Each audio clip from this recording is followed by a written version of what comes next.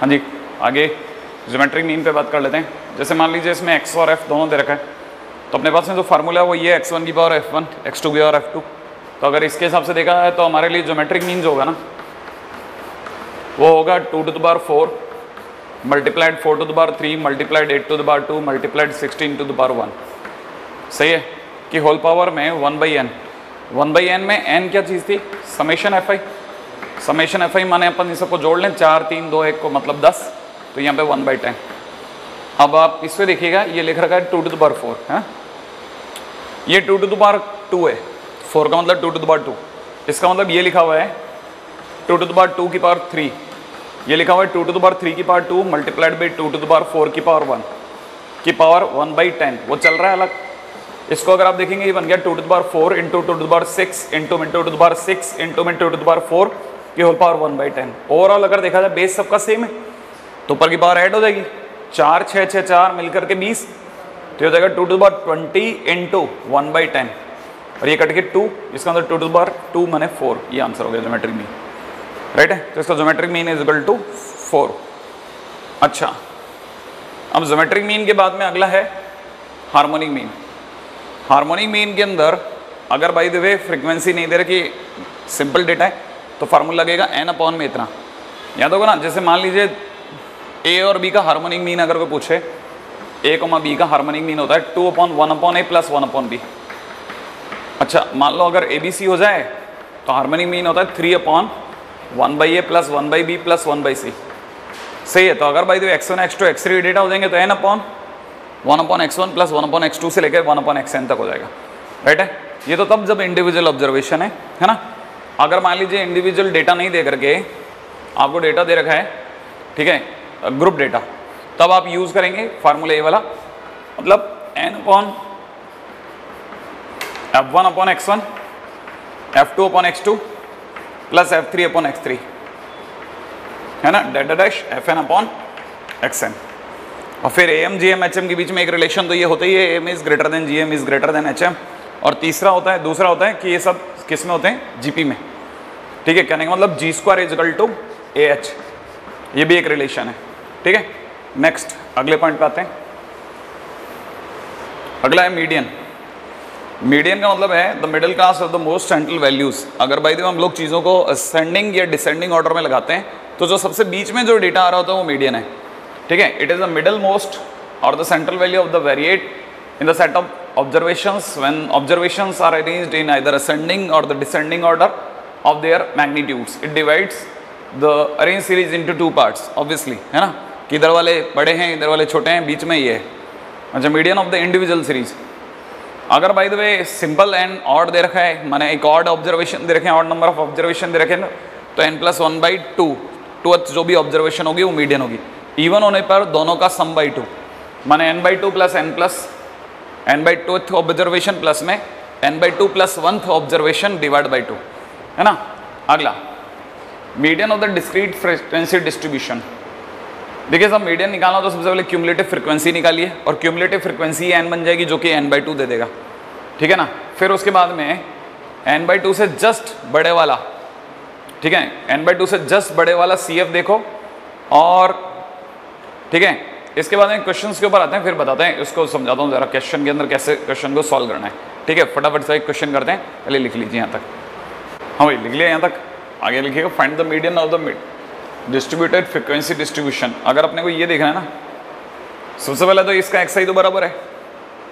अब अगर देखा जाए तो इसके एक्स आई के अंदर सबसे पहले आपने क्या निकाला, एक और कॉलम बना लेते हैं, जिसका नाम होगा सी एफ़ सी एफ़ का मतलब यहाँ पे एट पे एट अब आठ प्लस दस मिलकर के अठारह हो गए तो आप एटीन यहाँ लिख दोगे। Eighteen plus eleven eighteen plus eleven मिलकर के हो जाएगा ट्वेंटी नाइन ट्वेंटी नाइन और सिक्सटीन मिलकर के हो जाएगा फोर्टी फाइव फिर ट्वेंटी मिलकर के हो जाएगा सिक्सटी फाइव फिर ट्वेंटी फाइव और मिलके हो जाएगा एट्टी अगला मिलके नाइन्टी फाइव उसके बाद में it is one zero four और इसके बाद वन ज़ीरो फोर के बाद में वन वन टेन इसका मतलब summation F I is to कितना आ गया? एक सौ दस आ गया वैसे तो। सही है? तो ये जो आपका क्यूमुलेटिव फ्रिक्वेंसी बनी, इससे आपका एन इजगल आ गया 110 तो इसका मतलब आपको निकालना चाहिए सबसे पहले N by two N by two का मतलब होता है, इसका N by two equal sixty five नहीं फिफ्टी फाइव सही भाई, इसका N by two is to कितना आ गया? 55 अब 55 या तो 55 मिले, अगर 55 नहीं मिलता तो उसे जस्ट बड़े वाली सी एफ़ ढूंढनी है। तो 55 से जस्ट बड़ी सी एफ़ कौन सी? पैंसठ। तो ये जो पैंसठ वाला जो क्लास हुआ, ये मॉडल क्लास कहलाएगा। और इसके में जो एक्स आई की वैल्यू होगी, वो आपकी मीडियन कहलाएगी। तो अगर कोई पूछे मीडियन कितना आया? तो मीडियन इज़ टू फाइव सही है? तो सी एफ़ या सी एफ़ से जस्ट बड़ी वाली, ठीक है? अगली बात है नेक्स्ट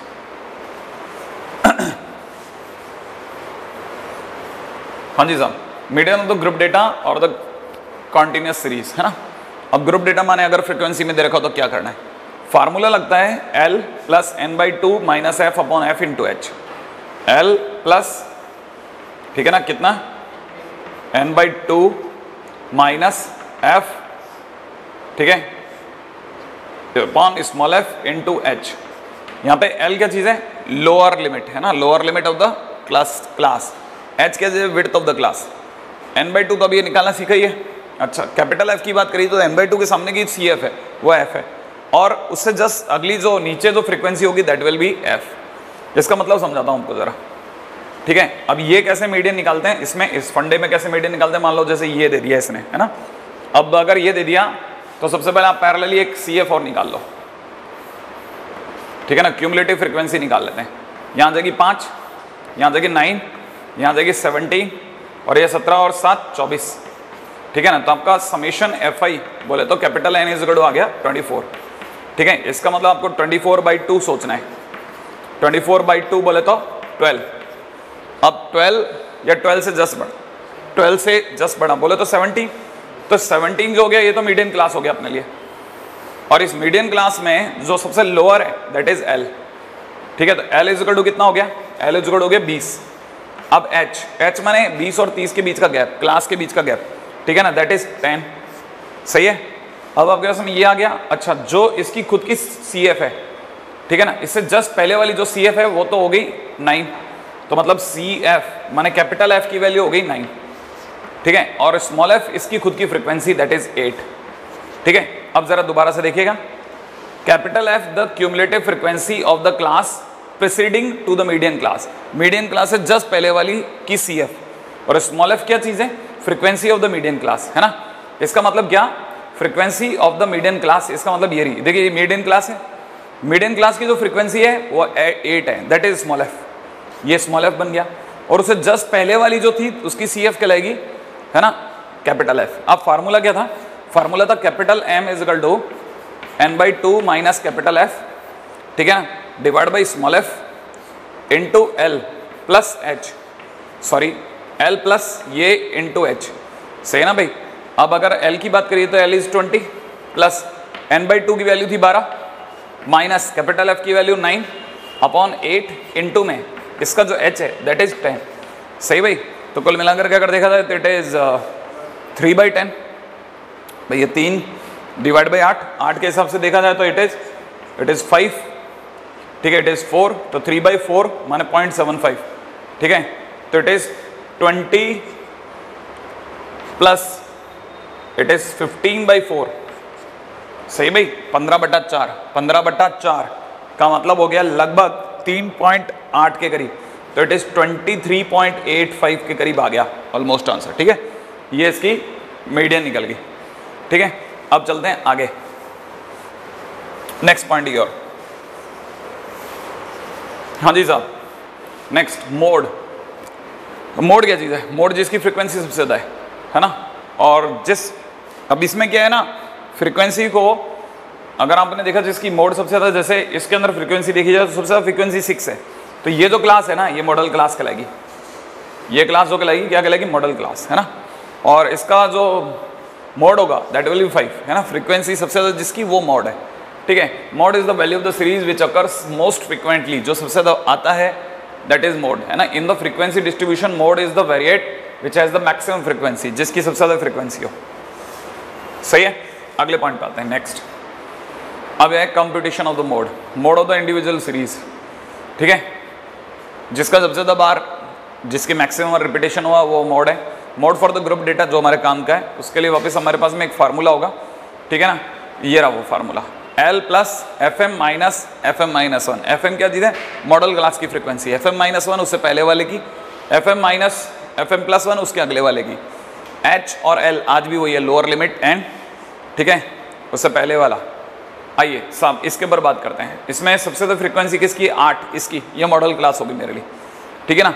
तो ये जो है, इसकी फ्रीक्वेंसी मेरे लिए होगी एफ़ एम इससे जस्ट पहले वाले की फ्रीक्वेंसी होगी एफ़ एम माइनस वन इसके जस्ट बाद वाले की फ्रीक्वेंसी होगी एफ़ एम प्लस वन ठीक है ना? इसका जो लोअर एफ़ एम का जो lower value that is L इसका जो एच होगा, वो इन दोनों के बीच का गैप दस। अब मेरे को फार्मूला याद होना चाहिए। अगर किसी ने मोड पूछा तो mode is equal to L plus bracket में कितना? F M minus F M minus one upon में twice of F M minus F M minus one minus में F of M plus one multiplied by H यही था formula मैंने तो ये देखा था। है ना? ये देखा तो सही देखा। सही है? अब आ जाते क्वेश्चन के ऊपर। एल की जगह पे मेरे को कितना लिखना चाहिए? बीस। मैंने लिख दिया ट्वेंटी। एफ़ एम की जगह मेरे को लिखना चाहिए आठ। माइनस में एफ़ एम माइनस वन बोले तो चार। अपॉन में टू एफ़ एम बोले तो सोलह। माइनस में एफ़ एम माइनस वन बोले तो चार। माइनस में सात मल्टीप्लाइड बाई एच बोले तो दस। अब आप इसको मल्टीप्लाई करके सॉल्व कर लेंगे, आपके लिए मोड आ जाएगा। ठीक है? हाँ जी, चलें अगले पे। नेक्स्ट अगर कॉपी हो गया तो। हटा रहे हैं। ठीक है? तो मॉड और मीडियन निकालना तो बहुत ही आसान है। इसके बाद आगे चलते हैं। Next measurement measures of dispersion अब मेजर्स ऑफ़ डिस्पर्सन में डिस्पर्सन का मतलब होता है कि जो सेंट्रल से कितना ज़्यादा दूर तक चला गया। कोई भी डेटा अपने सेंटर से कितनी ज़्यादा डिस्पर्स हुआ है, कितना ज़्यादा दूर तक चला गया ठीक है? Dispersion is the statistical distribution of the measures of the deviation of its value about about the average value the measures of the dispersion commonly use जो सबसे ज़्यादा यूज़ होते हैं, वो है, उनमें से एक रेंज है क्वार्टल डेविएशन मैंने बताया तो पहले आउटसाइड है रेंज भी आउटसाइड है, सिर्फ़ मीन डेविएशन और स्टैंडर्ड डेविएशन हमारे लिए दो काम के अब बात करते हैं मेन डेविएशन पे। मेन डेविएशन क्या चीज़ है? मेन डेविएशन बहुत गहराई से समझने वाली चीज़ है। Mean deviation is defined as the arithmetic mean of the absolute deviation of its value taken about any central value इसका मतलब क्या है? जैसे सेंट्रल वैल्यू जो है, वो मीन है है ना? उससे हर डेटा का कितना डेविएशन हुआ, वो एक्स आई माइनस ए बता देगा। कितना डेविएशन हो, घटा के बता दो, कितना डेविएट हो गया। उसका मॉड लेना मतलब उसकी एब्सोलूट वैल्यू लेना। और एब्सोलूट वैल्यू लेने के बाद में उसका अर्थमेटिक मीन दोबारा निकाल लेना। ठीक है दैट इज़ मीन डेविएशन तो मीन डेविएशन का जो बेसिक फार्मूला वो ये रहा। अच्छा यही चीज़, ठीक है, ये इसके बाद एफ़ के लिए ये वाला फार्मूला तो हमारे पास में ध्यान रख लेना मेन डेविएशन के हमारे पास में दो फार्मूले हो गए। पहला फार्मूला हुआ वन बाई एन समेशन के अंदर modulus of X I minus A ठीक है ना? और दूसरा formula one upon capital N summation के अंदर बस एफ़ आई और ऐड हो गया। और बाकी सारी चीज़ें एक्स आई माइनस ए वगैरह सेम चलती रही साहब ठीक है ना? हाँ। अब क्वेश्चन में आता है। फार्मूले याद होने चाहिए बस इसमें। लपक के। क्यों? क्योंकि ये चैप्टर मैंने पहले ही बोला 45 मिनट से लेकर के और ज़्यादा से ज़्यादा एक डेढ़ घंटे का चैप्टर है। ठीक है, ये तो हमारी साइड से एक डेढ़ घंटे का, अगर आपने इस पर दो घंटे, तीन घंटे और मेहनत कर ली हंड्रेड परसेंट इसका क्वेश्चन बन जाता है, आप पुराने पेपर्स लगा के रख लें। ठीक है, ताकि अपने को आइडिया रह जाए कि भाई पढ़ाना अपने इतनी देर में एक क्वेश्चन हो जाएगा। तो चार नंबर मिल रहे हैं अपने को, बहुत आसानी से मिलने वाला चैप्टर है। ठीक है तो हंड्रेड परसेंट मतलब ये कि अगर आपने जेई मेन्स का टॉपिक लिए तो मुझे ऐसा लगता है कि तकरीबन बारह नंबर के क्वेश्चन तो हर साल आते ही हैं, सोलह भी हो जाते हैं कभी कभार तो बारह नंबर के क्वेश्चन अगर भाई देवे आप अगर एक दिन की स्टडी से निकाल लेते हैं तो मेरे ज़्यादा गलत इससे ज़्यादा वेलकमिंग कोई स्टेप हो ही नहीं सकता। ठीक है? अच्छा find the mean division of the median from the median अच्छा अब की बार इसने मीन जो दे रखा है, वो मीडियन के नाम पे दे रखा है। तो सबसे पहले मीडियन के नाम पे तो देखिए साहब, इसको अरेंज करना पड़ेगा। बढ़ते क्रम में, ठीक है? साहब 45 सबसे छोटू है। फिर 47 का ही नंबर है शायद। और 47 भी दो बार है तो आप भी दो बार ही लिखोगे। फिर कौन आया? फिर आया 49 फिर आया 50 फिर आएगा 53 फिर आएगा 59 फिर आएगा 50 ओ सॉरी पहले 58 आया, फिर आया 59 और फिर आया 60 सही है? तो देखिए अब चार इधर है और चार इधर है, इसका मतलब ये पार्टी जो है मीडियन बन गई। अब ये आपका मीडियन हो गया। अब आपको मीन डेविएशन निकालना फ्रॉम द मीडियन तो ये आपके लिए ए बन गया। सही है? एवरेज वैल्यू आपने ये ले ली। अब आप हर किसी से सेंट्रल वैल्यू से इस, इसकी दूरी निकालो। तो 45 से 50 की दूरी पाँच। प्लस 47 की 50 से डिस्टेंस थ्री इससे डिस्टेंस थ्री इससे डिस्टेंस वन 50 की 50 से खुद से दूरी ज़ीरो इससे इसकी डिस्टेंस थ्री इसकी डिस्टेंस एट उसकी डिस्टेंस नाइन इसकी डिस्टेंस टेन आपने देखा गौर से मैंने डिस्टेंस बोला। ताकि क्या मैं एब्सोलूट लू ही नहीं। मेरा सीधे सीधे ऑटोमेटिकली पॉजिटिव आए। अब जब ये सब आ गया तो ये डिवाइड बाई कितने नंबर हैं, वो गिन लो। दैट इज़ नाइन तो that is your that is your mean deviation आपका आंसर आ जाएगा। सही है?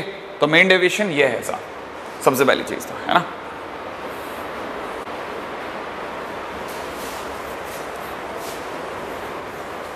हाँ अगला। Mean deviation of a discrete frequency distribution ये दो हो ही गया, है ना, बताया था अभी एफ़ आई का लेकर के। अच्छा variance and the standard deviation दूसरी काम की चीज़।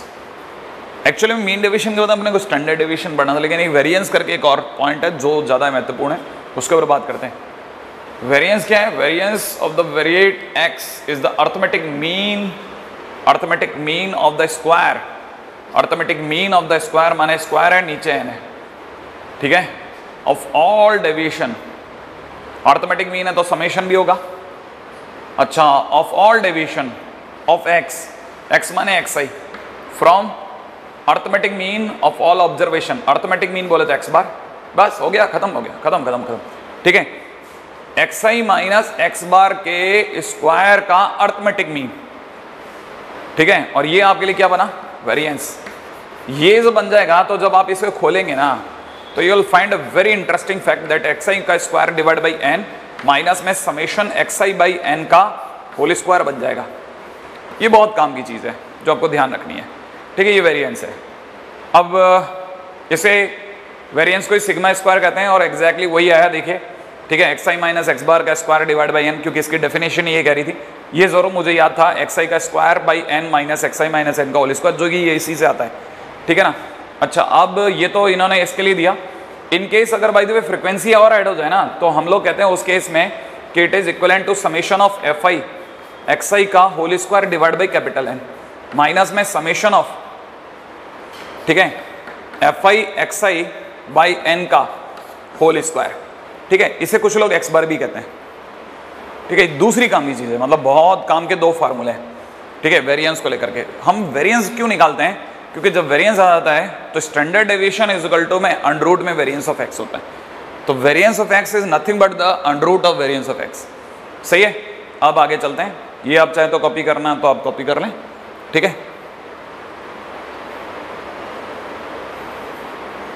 ठीक है? आगे चलते हैं। नेक्स्ट चलिए, अब अगले पॉइंट पे चलते हैं, बात करते हैं। ठीक है? Variance is the standard deviation of this अच्छा। अब इसके क्वेश्चंस पे भी डालते हैं। इसके क्वेश्चंस में बात करिए वेरिएंस निकालना है साहब। ठीक है? स्टैंडर्ड डेविएशन तो सबसे पहले मीन निकालना पड़ता है। अगर मैं मीन निकालता हूँ तो summation X I by N का whole square summation X I का स्क्वायर डिवाइड बाई ये स्टैंडर्ड वेरिएंस है स्टैंडर्ड डिवीज़न नहीं है। एक्चुअल में क्वेश्चन कुछ और होगा। ठीक है? एक मिनट चेक कर लेते हैं। ये क्वेश्चन में चेंज है। ये actually mean deviation from median है। मीन डेविएशन फ्रॉम मीडियन तो फिर ये वही वाला पुराना वाला क्वेश्चन हो गया। जैसे भी अपने 50 वाला क्वेश्चन करते पहले मीडियन निकालो, फिर उससे मीन डेविएशन निकालो X I minus X bar का मॉड का समेशन डिवाइड बाई एन तो ये तो आसान क्वेश्चन है, कोई मतलब नहीं है। रिपीट क्वेश्चन है, बस डेटा बदल गए। अगला find variance of the first N natural number अगर आपको याद हो तो वेरिएंस ऑफ़ एक्स का फॉर्मूला होता है समेशन में एक्स आई का square divide by N minus में summation X I by N का होल स्क्वायर अच्छा। अब एक्स आई क्या चीज़ है? यहाँ पे हमारे लिए एक्स आई क्या चीज़ है? X I is equal one two three four से लेकर के एन तक। सही है? एक से लेकर के एन तक फ़र्स्ट एन नेचुरल नंबर है। तो जब आप समेशन एक्स आई का स्क्वायर करेंगे तो समेशन एक्स आई का स्क्वायर का मतलब हो जाएगा वन का स्क्वायर प्लस टू का स्क्वायर से लेकर एन का स्क्वायर का सम तो जैसे ही आप इसका हिसाब करोगे तो it will become N into N plus one into two N plus one divide by three N minus summation X I by N की जब करोगे बात तो ये होल स्क्वायर को तो कर देता हूँ बाहर। समेशन एक्स आई मैंने इन सब का sum N into N plus one by two N ये हो जाएगा, ये दोनों हटा दो। इधर से आप ये दोनों हटा दो। फाइनली अगर आपको दिख रहा हो तो एन प्लस वन कॉमन आ जाएगा। एन प्लस वन कॉमन आते ही अंदर ही अंदर बचेगा। Two N plus one by three minus में यहाँ से बचेगा। N plus one by two सही है? थोड़ा और सॉल्व कर लो। It is N plus one बाहर है, ही अंदर ही अंदर एलसीएम आ जाएगा सिक्स सिक्स होते it is four N plus two minus में थ्री एन माइनस का थ्री ठीक है? तो it is N plus one multiplied with it is N minus one divide by six सही है?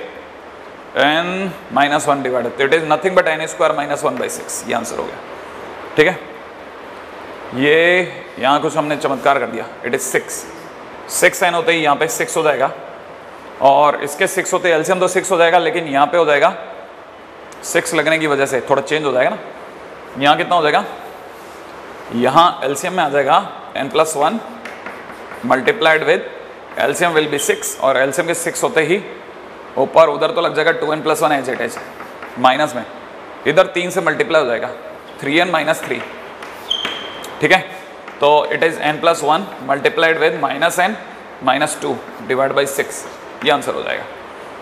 ठीक है?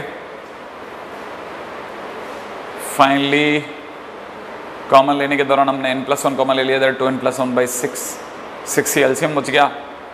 ठीक है, सही। ठीक है? इसमें यहाँ ये गलती हुई है कि अपने डिवाइड बाई फोर है एल्शियम में। स्क्वायर भी तो होगा। और सिक्स और फोर का एल्शियम विल बी ट्वेल्व चेंज तो एक बार अगर गलत हो जाता है चीज़ तो गलत हो ही जाती है। Finally it is nothing but N plus one LCM is twelve twelve LCM आते टू लगती four N plus two minus four से क्या? Three times three N minus three that is N square minus one divide by twelve ठीक है? अब सही है। अब कॉपी कर लें ठीक है?